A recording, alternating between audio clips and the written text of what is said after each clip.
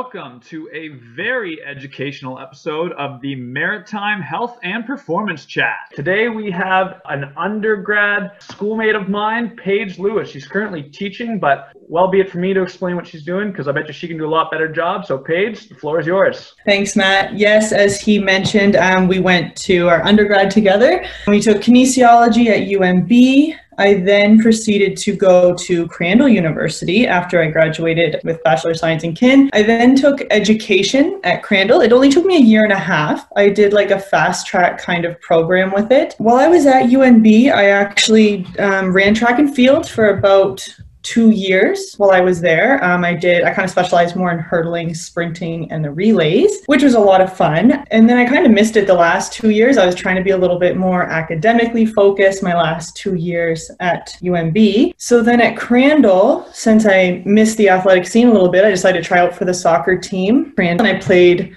for the year and a half that I was there. So I played soccer there, which was a lot of fun. I actually ended up getting MVP for the year for the team, which was super nice. I'm now located in Toronto, Ontario, which I never thought I would be moving up here. Terrible. Yes, yeah. Especially with these times, it's been. Oh my goodness. Um. So yeah, I'm just teaching up here. I've actually had, I kind of luck of the draw, I ended up just kind of applying for one of the first jobs that I saw up here, being a teacher. I didn't have my hopes too high.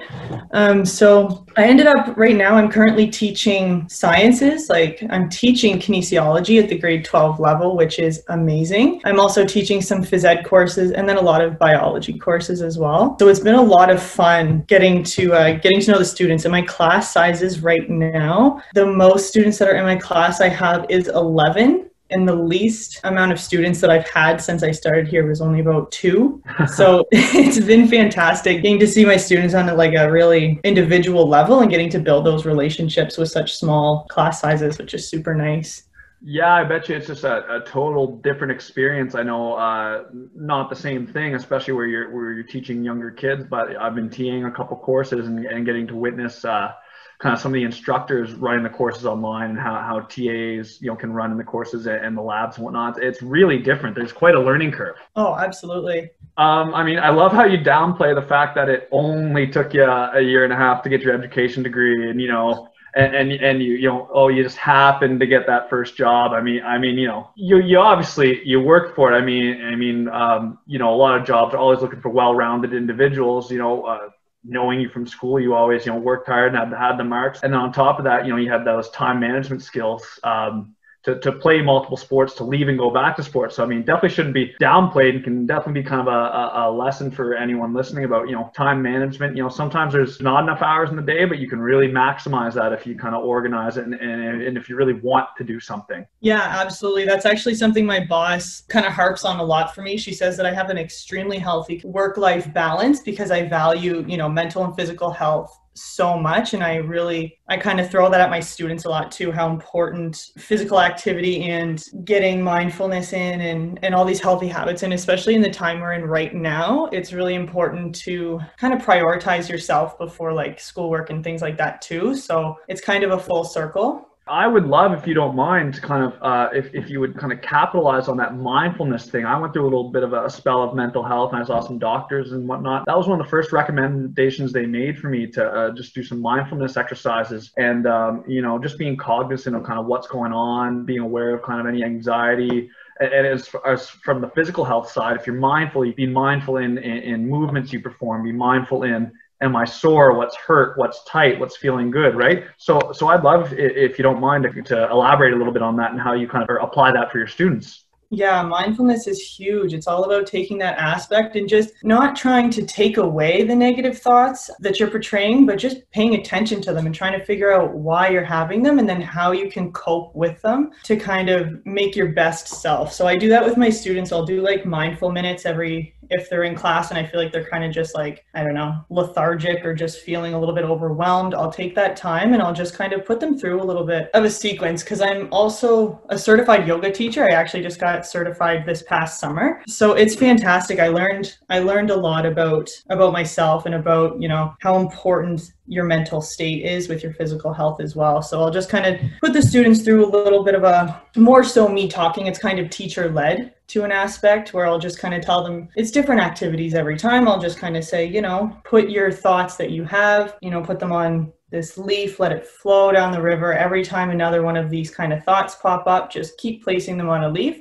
Don't ignore them. Pay attention to those thoughts and feelings that you're having, but then just kind of let them slide away right? Let them pop up, acknowledge them, see that they're there. And then they even find they're like, wow, I didn't realize how much I had going on. And that just really kind of settles them down. Yeah, it's amazing kind of, uh, you know, how, how our thought process uh, is, isn't always introspective, right? Like it's so easy to kind of get swept up in, in the, the day to day that you really don't realize how much maybe stress you're holding on to or how much you know maybe something negative that happened months year even years ago that you're still holding on to right and i mean if you if you can kind of just perform these you know kind of mindfulness tasks it, it's a really great way to sort of look inward kind of get an idea of what's going on yeah, exactly. I did another good activity with them too. This one I did with my grade nine phys ed students. It was something I, I incorporated when COVID kind of first started last year around March. Well, I got them to just go on a mindful walk. No technology, no friends, no talking, nothing. They just had to use their senses around them to kind of appreciate and acknowledge just what the outdoors had to bring to them. And then I even had some feedback from some of the students. They came back and they were just like, I just sat on a park bench. They were only supposed to be outside for about 20 minutes. One of the students said, I just sat out there for an hour and I just contemplated and thought so much. And he said he just needed it just to put the technology away and just sit and look and listen and feel.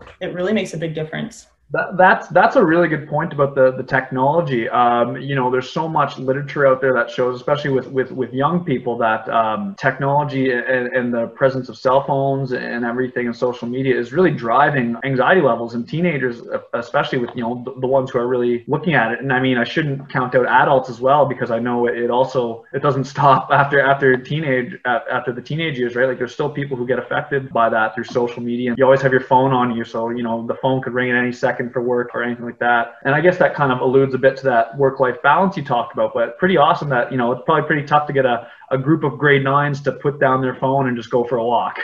Yeah, I was definitely surprised that they were so dedicated enough to actually go out and do it. I was I didn't have high hopes, but they always exceed my expectations. They're a really great bunch. Another kind of interesting thing too is, is, the application of the, the nature walk, right? We just go out and, and enjoy nature. Uh, one of my old roommates at UNB, he was doing his master's in psychology for David Scott and he would walk everywhere. And I mean, Fredericton's a pretty great city for that. If you're down from uh, Beaverbrook, upwards not so much, but uh, he would walk everywhere, and he would make a point to you know go for nature walks, just places in Fredericton, you know, having all the the walking paths. What a great place for it. But you know, no music, no phone, no nothing, just listening to the sounds. And, and there's actually literature out there to demonstrate the positive effects that can have on our mood state. Mm-hmm. Something interesting you mentioned was you're teaching a grade nine phys ed class. How does that go? From you know kind of satellite teaching? Well, at the moment, I'm actually teaching a recreational leadership class for grade 12s and grade 11 biology. But before, so they have their four terms. Yep.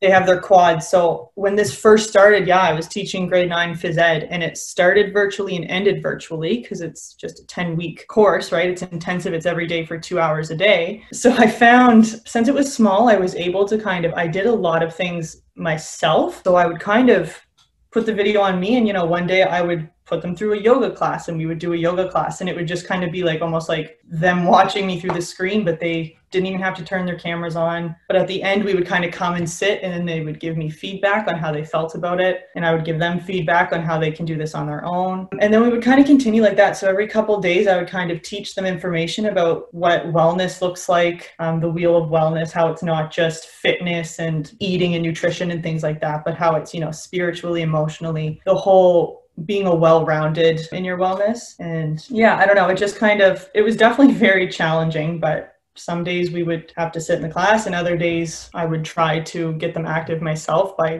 demonstrating it to them show that it is possible just to do in your own home. I was going to say it's it's best to lead from the front. Yeah It's uh, it, it's pretty amazing uh, that you have that that yoga certification because I mean that's such a nice tool to have in your tool belt. Myself and a couple old teammates and friends of mine, we run a, yearly wrestling camp over the summer. I might as well do a cheap plug now called the Atlantic Regional Wrestling Camp. And like a lot of things, we had to run it online this year. So you know things like I would be running workout sessions online, and I mean that's kind of an interesting one because in itself, just because you know you're you're so like conscientious of like you know are you breathing heavy? Do, are you doing something funny making weird faces? It's kind of a again like a learning curve and eventually you kind of just gotta say ah screw it. Like it's it's going to be what it's going to be. And Jordan Smith, of uh, another yoga instructor based out of probably not too far from you, kind of the, the Moncton region, she used to wrestle as well, and, and she would run yoga sessions. And just it's such a useful tool and such a practical thing to be taught over, you know, like a Zoom or something like that, because you, know, you can kind of slow it down, explain everything, and, and you know, people just blow up your screen and watch you go through poses, and, and you can check on people and instruct them and whatnot. But yeah, it's such a useful tool. That's kudos to you for going to get that. Yeah, definitely. I definitely found that it's come in handy more than once. COVID has definitely made things super weird. And I've noticed you were talking about being self conscious and stuff like that. But I always tell my students a lot of the time it is mandatory for them to have their camera on. But I tell them that 80% of the students will be looking at me. And if they're not looking at me, they're looking at themselves. So don't ever worry about people looking at you through the Zoom because chances are that's not actually happening. That's that's an awesome, awesome point to make. I mean, one of my favorite kind of quotes I always think about from that. Just, I can't even remember who it was, but it was just watching those after school just for laugh comedy specials, and one of the stand-up guys comes up and says, "You know who cares about your problems less than you do? Everybody." that's exactly. You know who cares about those funny faces you're making when you're doing a squat less than you do? Everyone. No one cares about that. I mean, it, it's a really hard thing to kind of get through your head because you know you always ha- kind of have that feels like someone's watching you, especially maybe less so on the Zoom, but like uh, when you go to a gym or, or something, right? Or if you go for a run in public or you're doing a workout in a park or something like that. Sometimes you do kind of feel that self-consciousness. You maybe use some, some mindfulness practices and just be introspective and say, I'm doing this for me, my health, my fitness, whatever everyone else thinks, uh, who cares? Yeah, exactly. So I guess while we're on the topic of things you've had to kind of modify and, and whatnot. So, what's kind of one of the most things that stuck out of how COVID has affected your work and sort of considerations and modifications you have had to make to continue providing that service to your students? Yeah, there's kind of two ways that I can think of right off the bat. So, because I was teaching biology for sciences as well as phys ed, biology's really taken a toll because the one thing I love about Toronto is it has resources everywhere you look. So, I used to take the kids to the science center to Ripley's Aquarium. We would go on all these amazing field trips and now they can't even do so much so as go into a lab and look into a microscope. It's hard to get that hands on learning that we want. Oh, for sure. So I found that I've had to go more with a lot of like virtual labs, which they serve their purpose, but it's certainly not how I would have wanted to learn grade 11, grade 12 biology. So I kind of feel for them in that aspect. The other one, because I'm teaching phys ed courses, obviously every couple days we would go outside. We would just go play soccer, play basketball, softball, whatever. We would just get out, run around, get some fresh air. And now I can, it's just hard for me to just see the kids kind of roll out of bed and try to get the motivation to actually want to go outside.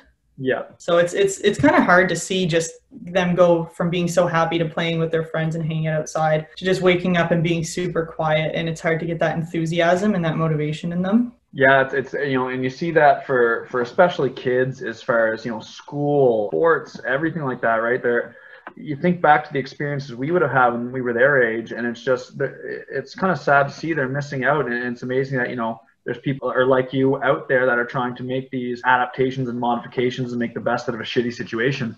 Yeah. Um, I guess uh, before we wrap up here, my final big question for you, and not that I don't think what you've said already kind of would fit this, but if there's one thing you could pick that you're doing right now to stand out and get ahead in your field, what do you think that is?